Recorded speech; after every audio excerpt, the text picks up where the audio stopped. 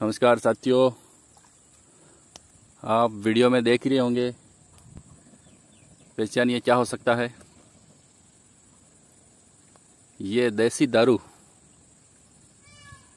जिसका वो मौड़ी भी कहते हैं। हिंदी में शराब और साइंटिफिक नाम है इसका, एथिल एल्कोहल।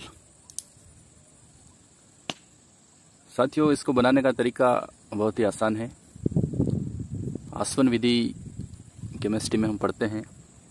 उस विधि के द्वारा ये शराब बनाई जाती है।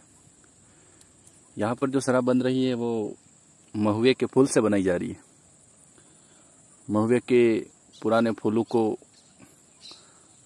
पानी के अंदर, ड्रम के अंदर पानी डालकर डुबा कर सड़ाया जाता है। उसके साथ में कुछ और चीज़ें भी डाली जाती हैं। उसके बाद सामने जो आपको दिख रहा है पात्र, उसमें इसको उबाला जाता है। उसके ऊपर जो ढक्कन लगाया गया है और नली के द्वारा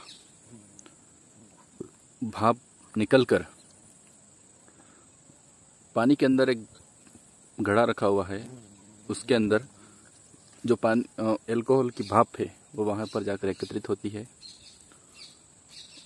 और ठंडी होकर द्रव का रूप ले लेती है। तो इस प्रकार से देसी शराब का निर्माण यहाँ पर किया जा रहा है। हम यहाँ पर जो भाई शराब बना रहे हैं, उनसे भी बात करेंगे। तो बताइए भाई साहब, कितना माल निकलेगा इसमें? दस बोतल। एक बोतल की कीमत कितनी है अभी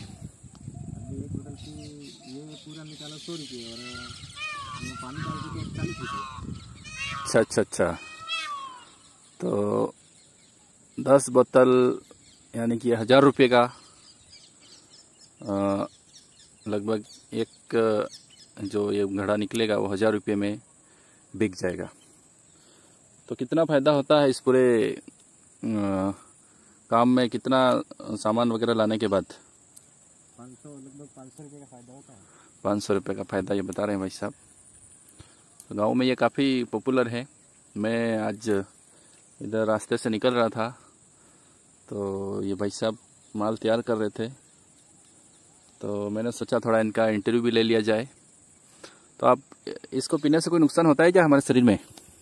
नुकसान तो कोई नहीं होता है। अच्छा अच्छा। कोरोना हो रहा है वो भी खत्म हो जाता है। तो डॉक्टर तो कह रहे हैं इसको पीने पीने से कोई बहुत सारी बीमारी हो सकती है कैंसर ये गलत बात है क्या? है। हाँ हाँ हाँ। लोग कहते हैं कुछ नहीं होता अच्छा अच्छा। आप पीते हो क्या? नहीं मैं तो नहीं पीता। तो ये भाई साहब का कहना है कि इनको सिर्फ़ धंधे से मतलब है और और ये इस तरह से अपना रोज़गार भी चला रहे हैं न तो दारू पीते हैं।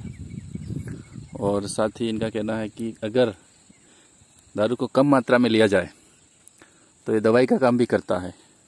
लेकिन ज़्यादा दारू पीना स्वास्थ्य के लिए हानिकारक है। तो साथियों, आपको ये हमारा वीडियो अच्छा लगा हो तो इसको लाइक शेयर करिए और कमेंट करिए हमारे चैनल को। सब्सक्राइब करना ना भूलिए। धन्यवाद।